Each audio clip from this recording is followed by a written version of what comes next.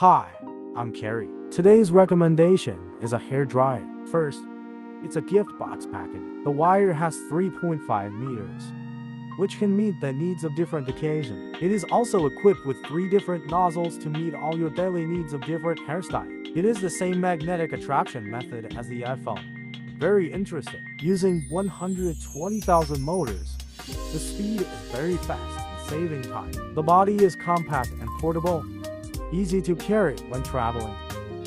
I usually blow dry my girlfriend's hair, which can be dried in a minute, which is super convenient. Her hair has been soft and smooth since using this hair dryer.